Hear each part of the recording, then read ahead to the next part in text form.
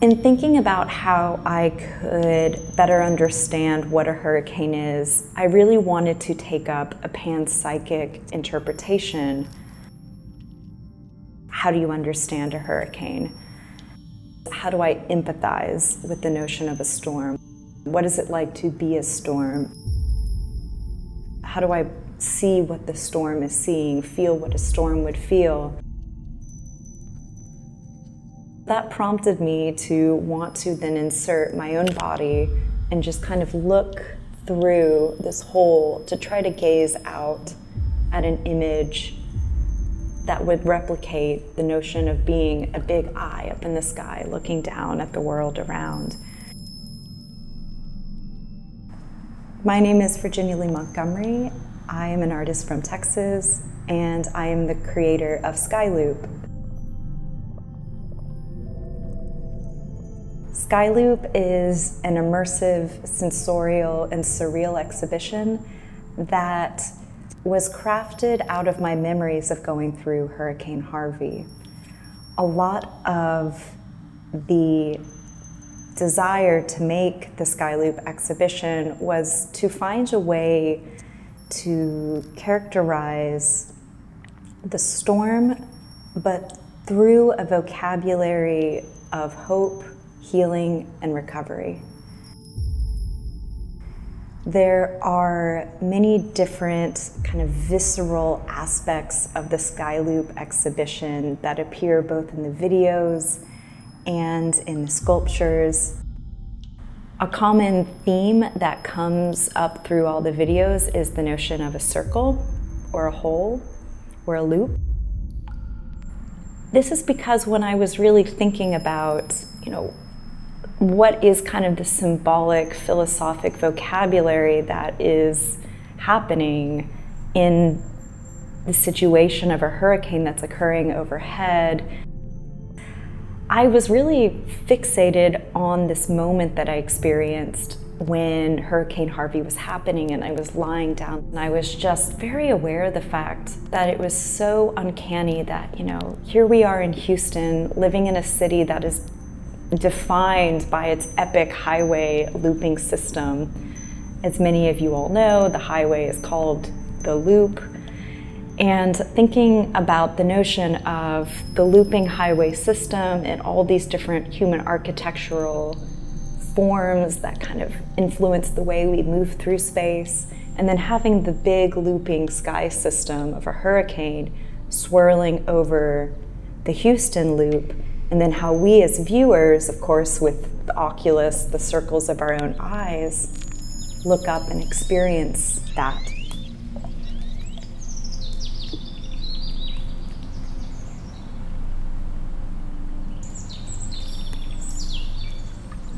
The other circle theme that comes up in the Skyloop video is the notion of eye spots on butterfly wings.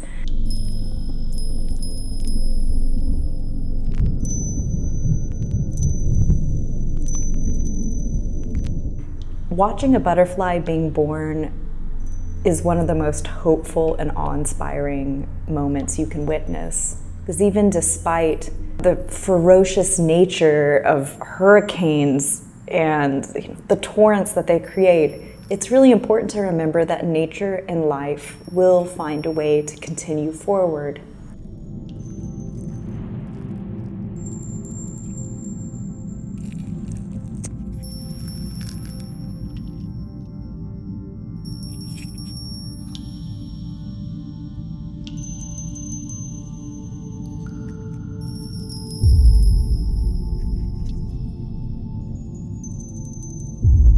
Butterflies are a very, very, very ancient insect.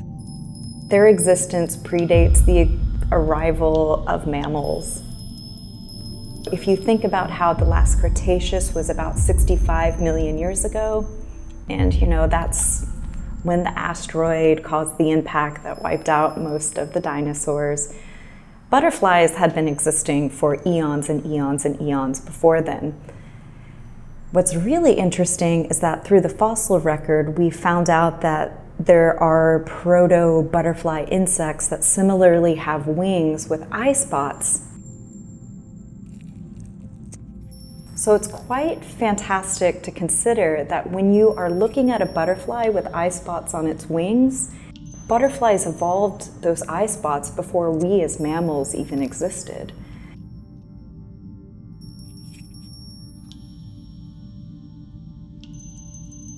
That eye symbol is something I really wanted to explore within this exhibition, symbolically within our own shared human culture, whether it be the eye of Dharma, the eye of providence, the evil eye. Eyes play a lot of significance in spirituality. And then if you look at in biology, the presence of eye spots as signaling devices on animals, they also carry a lot of weight. And then, of course, the notion of a hurricane, a giant, giant swirling vortex of water and wind.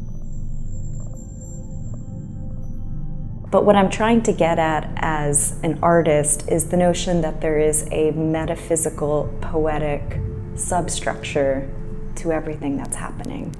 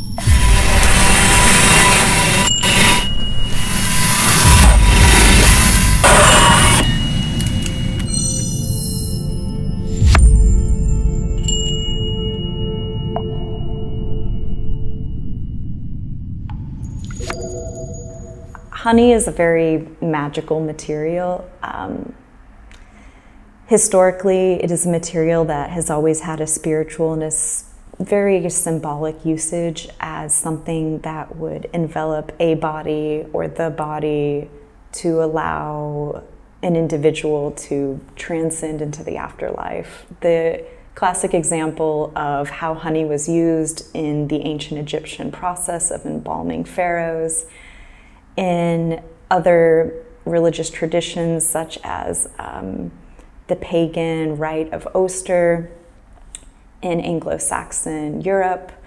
Uh, honey was frequently eaten around this time of year, the spring, to celebrate the equinox. And uh, similarly, honey has always been revered for its actual chemical properties of being naturally antiseptic. So, if you are someone that is interested in organic holistic medicine, you know that honey is one of the best ways to prevent a wound or a cut from actually becoming toxic.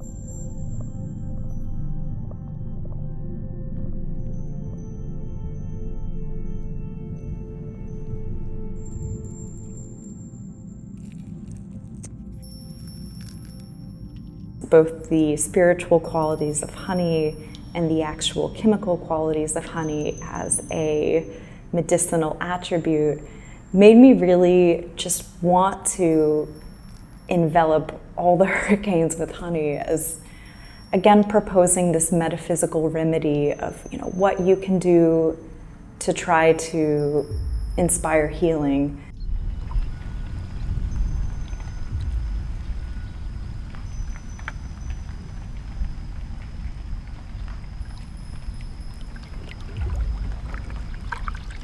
while it is a fantastical proposition to think that, you know, by healing a hurricane with a small model yourself would create significant change. I do believe that ways that you can think about empathetically modeling a solution might yield a different way of getting through a natural disaster.